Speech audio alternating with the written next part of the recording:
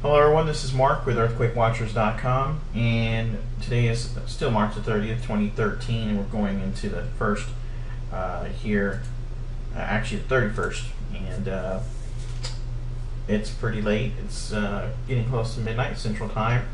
I wanted to talk about this because all this earthquake activity that we've been having over the past couple of days uh, seems to be coinciding with what I've been talking about before and that's space weather. So let's go to spaceweather.com, take a look at the latest update.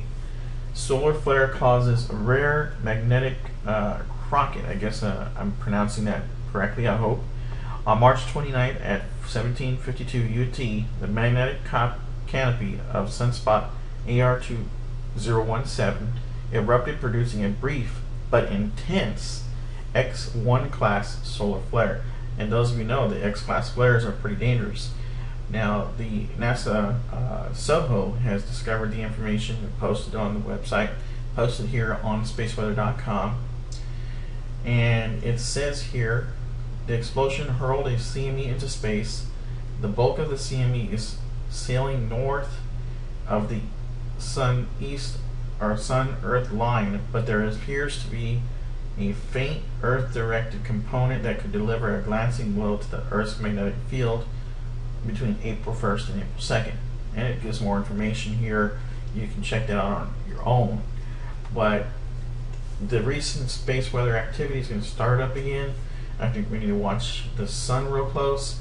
I'm a big believer in the sun causing uh, changes in our earthquake behavior with the magnetic fields on the planet Earth. Nobody really knows how the magnetic field works. It's just a guess. Uh, the magnetic field we do know, however, that the magnetic field does protect us somewhat from the solar radiation and the solar storms. But its connection between the sun and us is something that I'm concerned about with the recent earthquake activity popping up in different locations. I believe is something that needs to be looked at. Uh, of course, nobody really believes in a theory such as that. But I know a lot of you people that have been watching me do believe in such a thing, and we keep watch on all the earthquake activity, not just the minimal earthquake activity that's been happening, but I'm going to load up Earthquake 3D here, and you'll see the earthquake activity in the United States, in our own hometown, has increased tremendously over the past few weeks. This is down in the past seven days and of course we're looking at the United States. Uh, Dutchsinse usually talks about the craton, and we're looking at the craton. We're seeing earthquakes in Oklahoma, earthquakes in Wyoming, the National Park in Yellowstone, 4.8 folks. I haven't been able to retrieve the seismographic readers from the USGS website yet for the updated information. If I can get them, I'll try to do a video on that tomorrow. But the earthquakes in Oklahoma are continuing to be uh, increasing, and as far as the number of earthquakes, and of course the Yellowstone earthquakes, the California earthquakes, the 5.1 we had the other day, that's something we need to keep a very close watch on.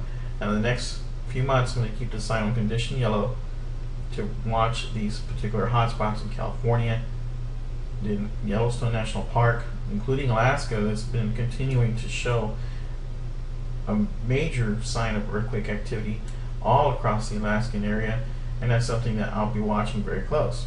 So, if you don't listen to WOAI, you definitely listen. Want to listen to that? They were talking about them building lasers uh, to protect us from incoming missiles, things like that. Crazy stuff.